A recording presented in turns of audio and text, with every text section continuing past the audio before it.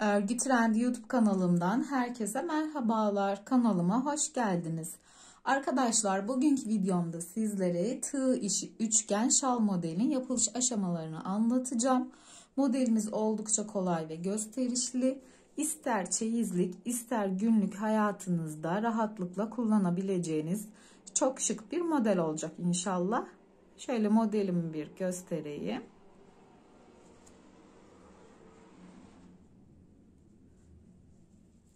İpimi de göstermek istiyorum sizlere. Alize Angora Gold simli şal veya yeleklik ipi olarak geçiyor. Ben ince bir tığ kullandım arkadaşlar. 1.75 milim. Dilerseniz hep birlikte başlayalım. Arkadaşlar 10 adet zincir çekerek modelimizin kurulumuna başlayacağız. Şöyle zincirlerimizi çekelim.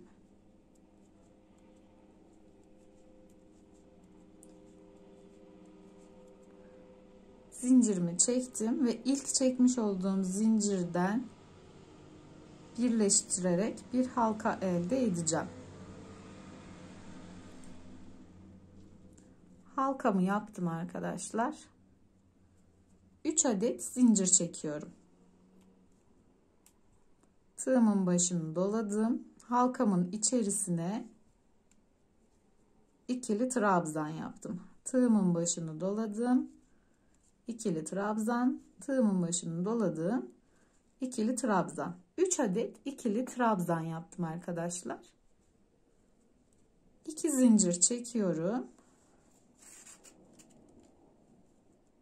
Halkamın içerisine trabzan yapmaya devam ediyorum. 3 adet trabzan yapacağım. Araya 2 zincir çektim. Tığımın başını doladım.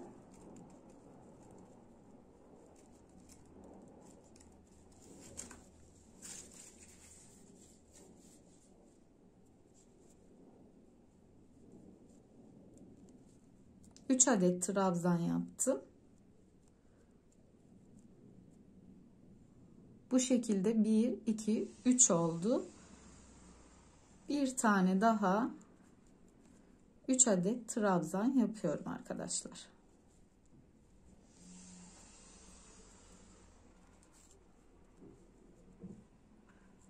Şu şekilde bir göstereyim. Şöyle 3 trabzan 2 zincir 3 trabzan 2 zincir 3 trabzan 2 zincir bu şekilde 1, 2, 3, 4 tane üçlü trabzan yapmış oldum.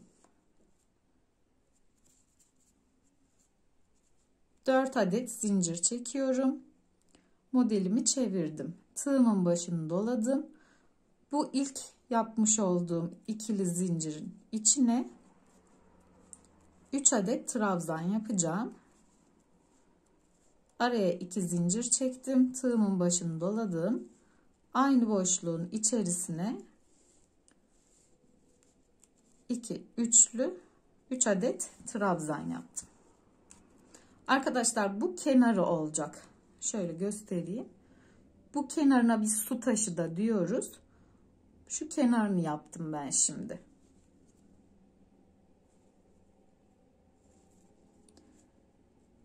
Beş adet zincir çekiyorum ve şu boşluğumun içerisine sık iğne ile kapattım.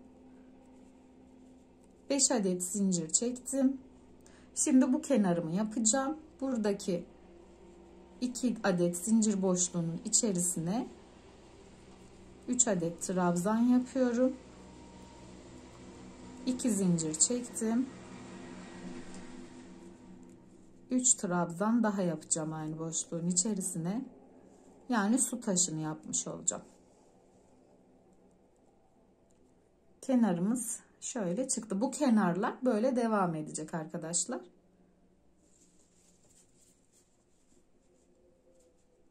Dört zincir çektim. Modelimi çevirdim. Tığımın başını doladım. Hemen bu kenara su taşını yapıyorum. 3 trabzan 2 zincir 3 trabzan daha aynı boşluğun içerisinde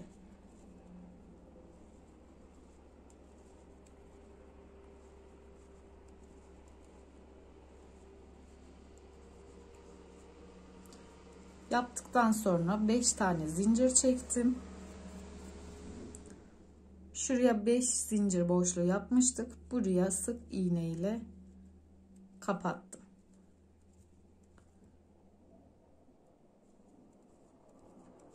Beş zincir çektim.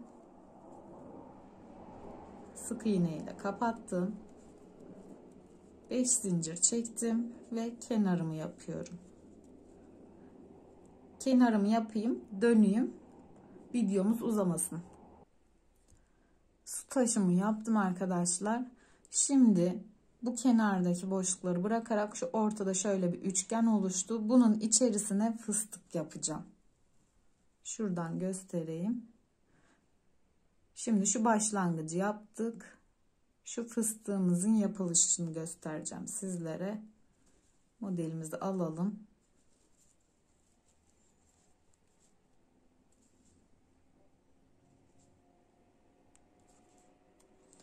5 adet zincirimi çektim. İlk boşluğumun içerisine sık iğne ile kapattım. 5 adet zincirimi çektim. Şimdi şu üçgenin içerisine tığımın başını dolayarak fıstığımı yapacağım. Ben 6 ilmekte çıkartacağım fıstığı. İpiniz ince ise 7-8 tane yapabilirsiniz. Kalınsa da beşli fıstık yapabilirsiniz. Ben altılı fıstığımı yaptım. Kapattım. 5 adet zincir çekiyorum. Boşluğuma kapattım. 5 adet zincir çektim ve kenar su taşımı yapıyorum.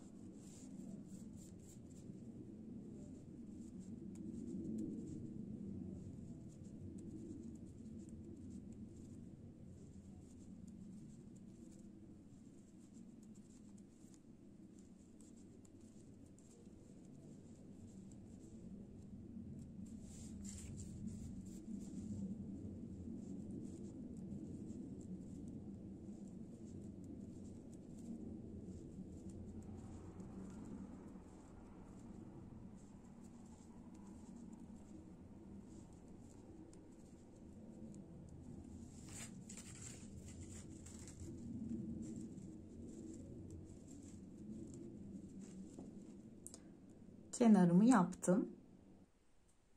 Arkadaşlar bu sırayı zincirle devam edeceğiz. Bu sırada fıstık yapmıyoruz. 5 adet zincir çektim. İlk boşluğuma kapattım. 5 adet zincir çektim. Burada boşluğuma kapattım. 5 adet zincir çektim. Boşluklarımın içerisine sık iğne ile kapatıyorum. Hem de burada modelimizi artırmış oluyoruz.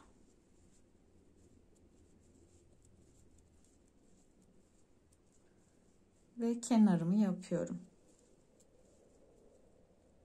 Kenarımızı yapalım, dönelim. Kenarımızı yaptık arkadaşlar. Şimdi nerelere fıstık yapacağım göstereceğim. Bu ilk boşluğa 5 adet zincir çekip kapatacağız.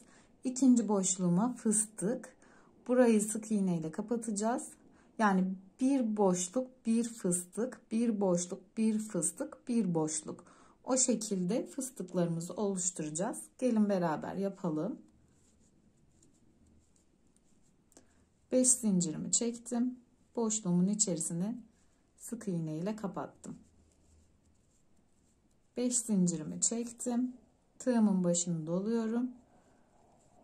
Buraya altılı fıstığımı yapıyorum.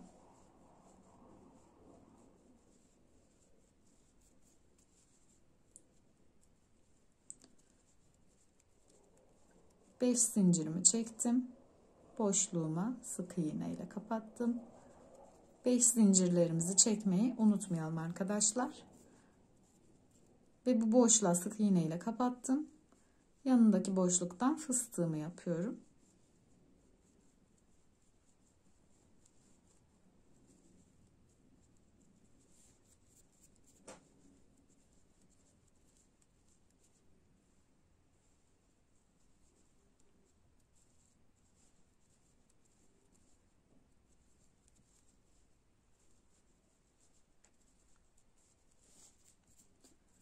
Kenarıma geldim.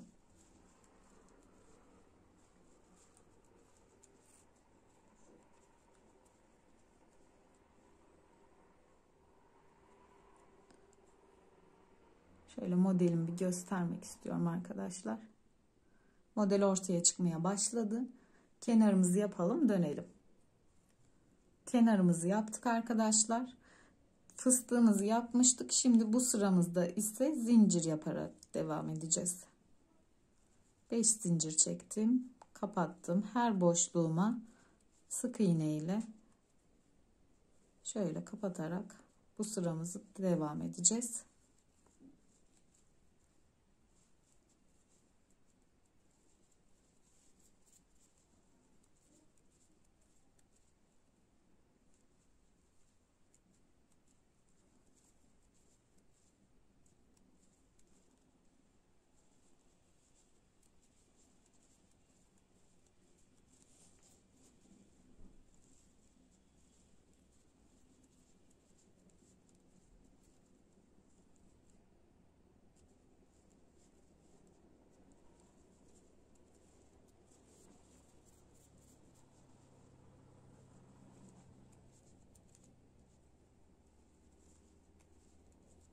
Model oldukça basit. Çok da çabuk ilerliyor arkadaşlar. Çok beğenerek öreceğinizi düşünüyorum.